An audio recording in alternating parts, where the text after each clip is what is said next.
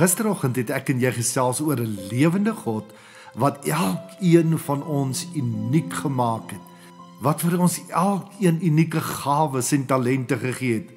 Wat bo alles vir ons sy gees gegee het om juis ons uniekheid waarmee hy ons geseën het te laat gebeur in hierdie wêreld sodat ek en jy ook 'n duik in die duisternis kan maak vir hom. As daar nou een ou is wat verstaan het van 'n nuwe lewe, dan is dit Paulus. En ek wil vandag 'n gedeelte vir jou voorlees uit die boodskap.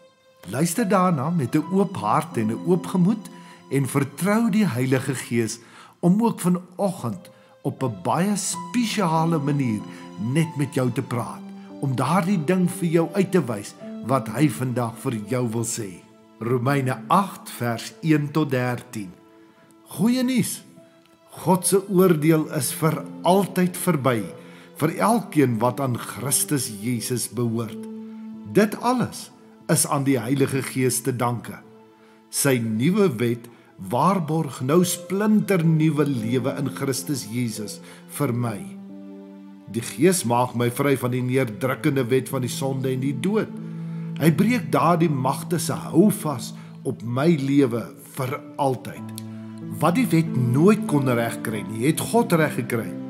Hy het geweet dat die wet nie in staat is om ons te verlos nie. Daarvoor is die mag van die sonde in ons lewens heeltemal te groot. Daarom het God besluit om sy eie seun na ons toe te stuur. Jesus het toe 'n gewone mens geword en tussen ons in hierdie sondaars nes kom bly. Toe Christus aan die kruis gesterf het, het God persoonlik met die sonde afgereken.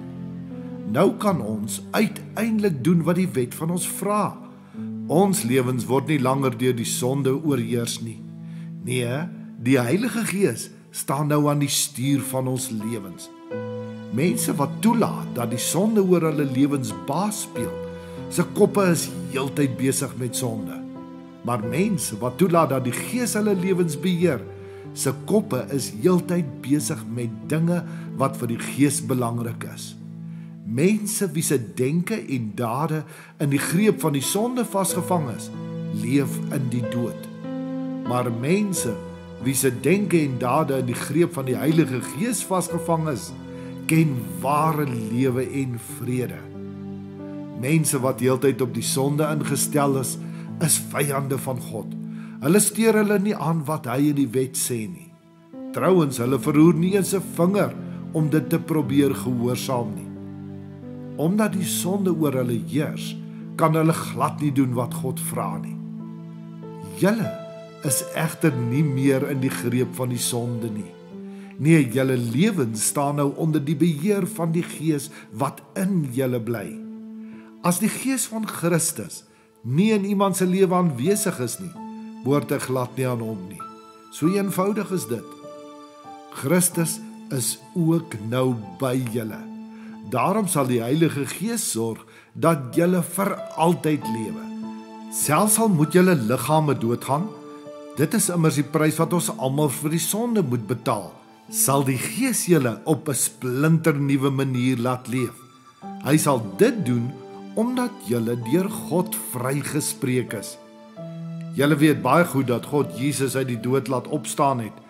Daarom is dit van selfsprekend dat hy wat nou deur sy gees in julle bly, eendag ook elkeen van julle se sterflike liggaam met die hulp van sy gees lewend sal maak. My broers en susters, omdat die Heilige Gees in ons bly, mag ons nie langer in die sonde rond lê nie. Ons is dit aan hom verskuldig. As jy kies om aan te hou sondig, moet julle weet dat julle sonder God sal sterf. Maar as julle toelaat dat die Heilige Gees met julle sondige dade afreken, sal julle vir altyd saam met God lewe. Die wet is al daardie godsdienstige reëls en gebruike waarmee ek en jy groot geword het. Die Gees van God is aan jou en my gegee om ons in staat te stel om in 'n nuwe verhouding met God te leef. Kom ons gaan leef so vandag.